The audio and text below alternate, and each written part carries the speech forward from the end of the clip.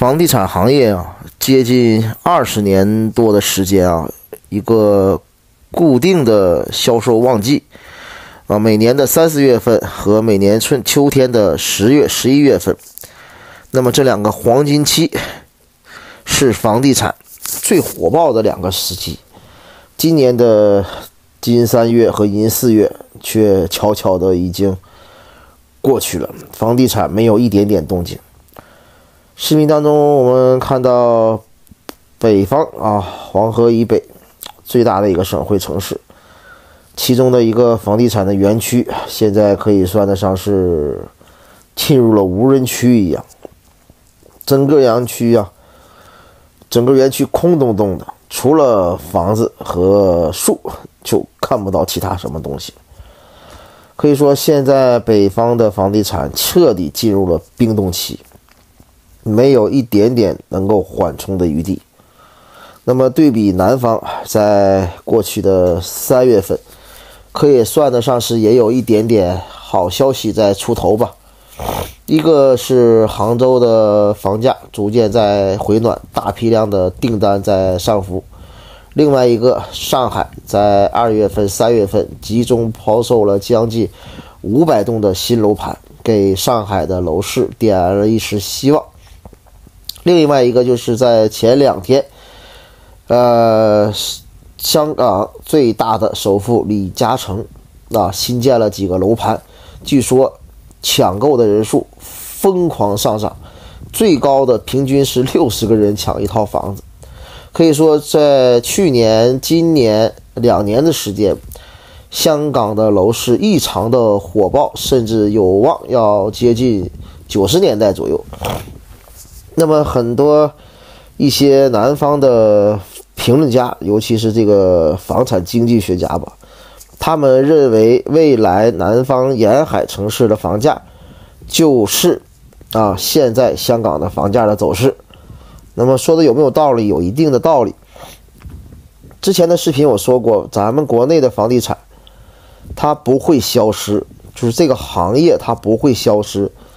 它不会消失，但是它还要经营，需要有利润。那么现在的房地产在国内已经出现了怎么这种供求关系的失衡吧？比如说平时生活中我们需要一百套房子，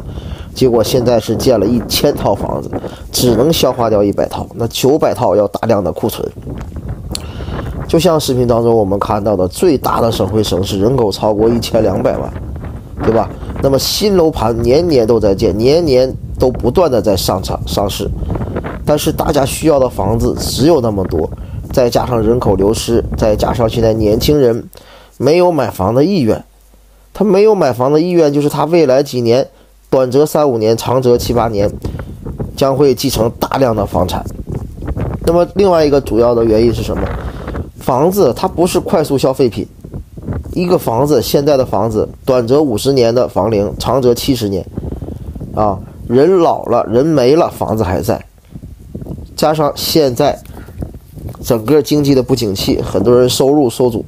生活质量啊没法提高，所以大家不再把所有的精力、钱力、物力、人力全放在房子身上。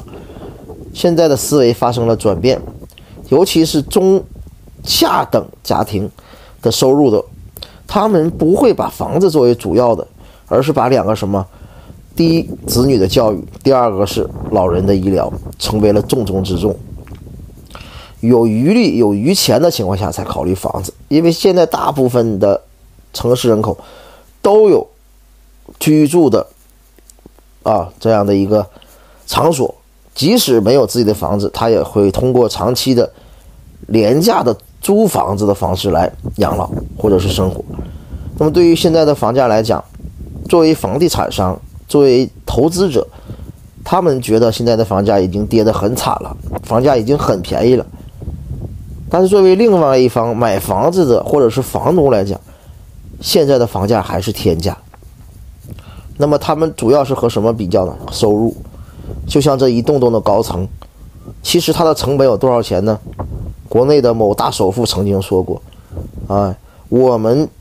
房款的百分之三十，大概也就是房子的成本价，